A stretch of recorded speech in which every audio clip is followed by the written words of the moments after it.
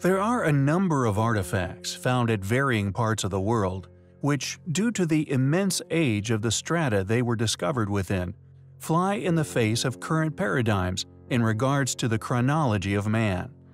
Iron pots, zinc vases, even imprints of ancient chariot wheels, found in numerous coal seams, and found by people in positions of responsibility, whom often testify not only in regards to their legitimacy, but are often accompanied by the lump of coal in which they were found, still possessing the intriguing imprint upon their surface, undeniably supporting the testimonies of these individuals, all but proving authenticity beyond doubt. Like that of the iron pot and its accompanying coal block, which was its tomb, carbon dating has indicated that the pot is an astonishing 300 million years old. However, as time goes on and coal mining, along with many other mining activities, becomes more rapid and advanced in nature, it is simply a matter of time before even more mysterious and unexplainable artifacts are also found. Unfortunately, due to the controversial nature of these artifacts, it is very likely that a number of them have either been shrugged off or actively destroyed before ever achieving widespread acclaim.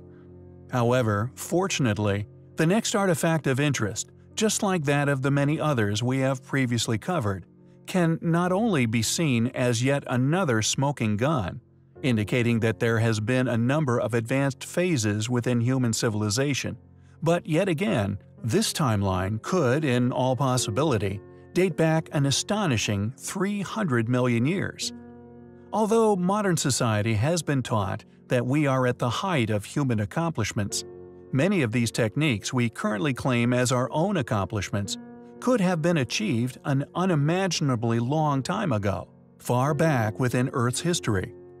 Dated to the same age as that of a number of other artifacts, which we have covered in the past, a group of brass doorknobs were once abandoned, eventually finding their way into a coal seam, which has been dated as 300 million year old geology.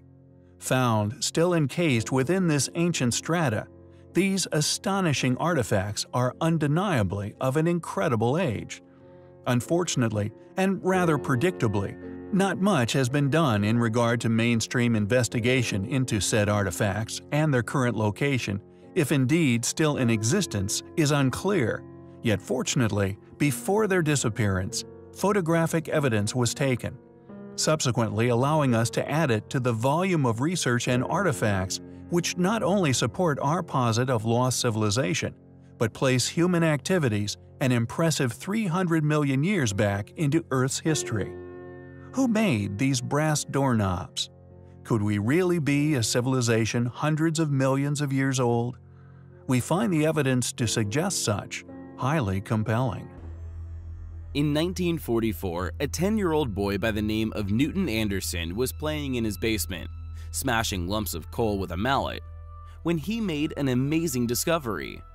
The coal that he was playing with had been mined very near to where he lived in Upshur County, West Virginia, and is largely accepted to be around 300 million years old. Imagine then Newton's and subsequently his parents' surprise when he presented to them this small bell, complete with strange winged figure and its possibly very ancient clapper, later found to be made of iron. Although there are many people who now insist that the dating of the coal must be incorrect, this little bell could also be a long-lost relic, lost within woodland, that over the eons becomes perfectly preserved within the eventual coal seam, lost by an advanced civilization which once inhabited Earth.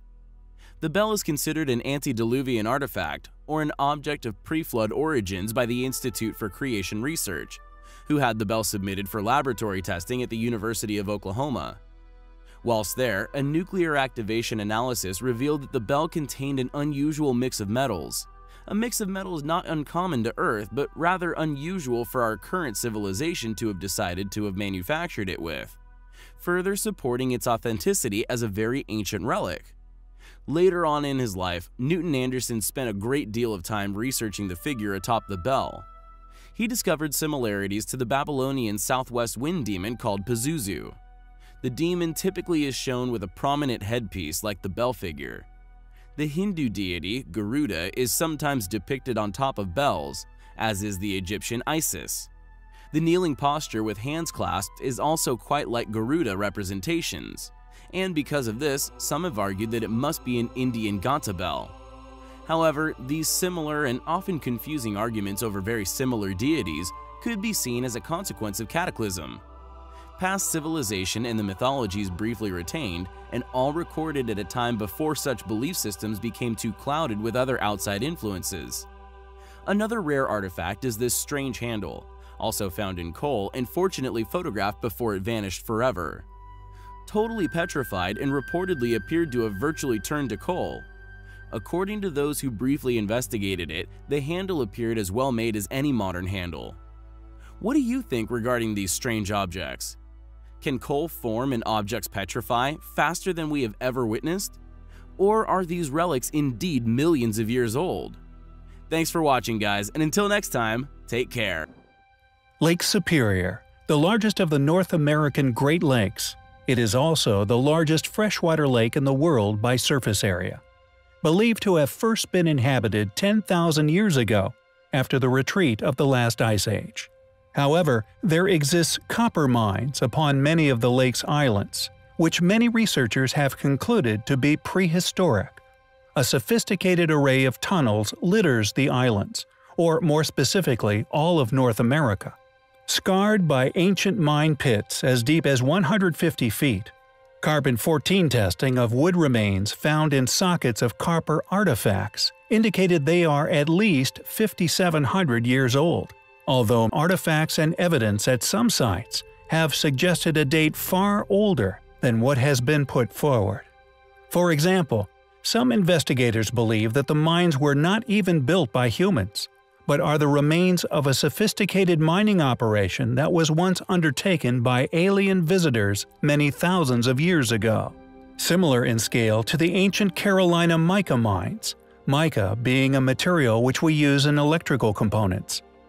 It must be noted that all of these prehistoric mines show evidence of being abruptly abandoned. Whether this is evidence of the death of an unknown king or queen, or evidence for catastrophe is unknown. All along Lakeshore are vestiges of this once highly successful ancient operation. The most astonishing of remnants catalogued publicly has to be the enormous lump of pure copper found in 1771 near the bank of the Ontonagon River. In 1945, it was floated downriver on a raft by a James K. Paul and was eventually appropriated by an agent of the United States government. It was then shipped to Detroit and on to Washington, where it eventually slipped into the bowels of the Smithsonian. Known as the Ontonagon Boulder, it weighs 3,708 pounds. It was apparently well known to Native Americans. According to the Keweenaw Bay Indian community, the boulder was used by tribe members to make offerings to its Manitou, or spirit, to seek improvement in their health and well-being. Just how old is the Ontonagon boulder, or indeed the mine from which it came? Although many would like you to believe the mines are less than 5,000 years of age, we think many factors surrounding them suggest that they are far older than that. Dorchester, Massachusetts, USA, in 1852, at Meeting House Quarry, workers were using dynamite to break up the bedrock, when an explosion threw an artifact into the light of day, after spending many thousands of years under the earth.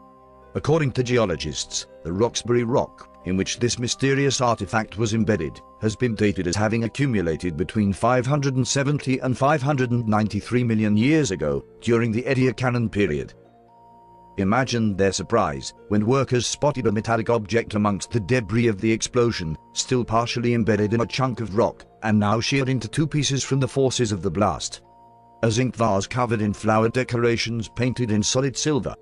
The bell-shaped pot is around four and a half inches tall and about six and a half inches long, and was noted as being exquisitely made. The age of the vase has been heavily debated amongst specialists, with many struggling to produce ages smaller than 100,000 years. Additionally, the species of flowers and plants that are illustrated upon the vase also went extinct over 100,000 years ago. Not surprisingly, but rather predictably, the pot along with all authenticated documentation regarding its discovery, mysteriously vanished without trace shortly before a full investigation into its amazing history could take place. The initial discovery was covered on June 5, in 1852, from the publication of the magazine Scientific American, which confirms its authenticity, as indeed being found embedded in the solid ancient stone, 15 feet below the surface. But shortly after this coverage, like so many other amazing objects found around the world vanished without trace. Who made this amazing artifact? When was it made? If we go by the age of the rock in which it was discovered, it is amazingly over 500 million years old, but we may never know. We recently covered the astonishing discovery made deep within a coal mine under Rostov in Russia, fortunately photographed by Mr. Kasatkin, an experienced safety engineer, who discovered the prints of what clearly appears to have been left by chariots' wheels.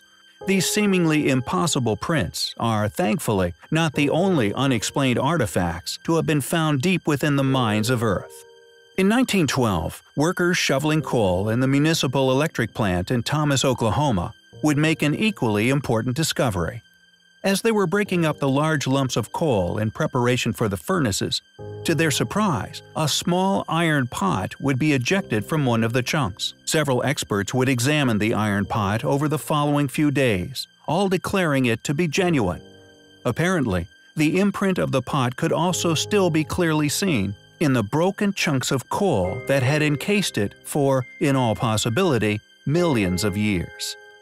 According to Robert O. Fay of the Oklahoma Geological Survey, the Wilburton Mines coal, in which the pot was found, is an incredible 312 million years old.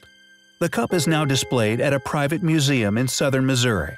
It was fortunately photographed by Robert Nordling, who sent a copy to Frank Lewis Marsh, Emeritus Professor of Biology at Andrews University in Berrien Springs, on 10 January 1949.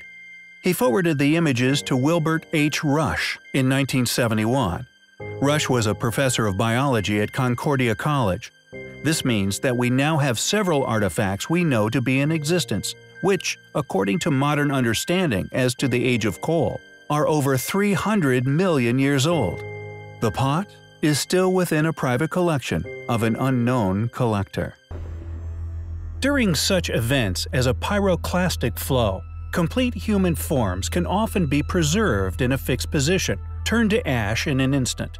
Someone turning into a stone fossil with age, however, was thought to be an impossible scenario.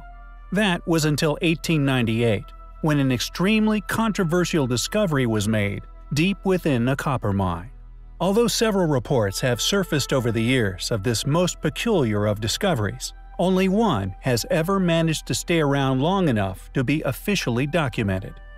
Deep within an old copper mine in Chuquicamata, an ancient stone woman, complete with basket and tools, was discovered, and although a date of only 400 years was preliminarily given, it is clear to the many involved that she is far older than that.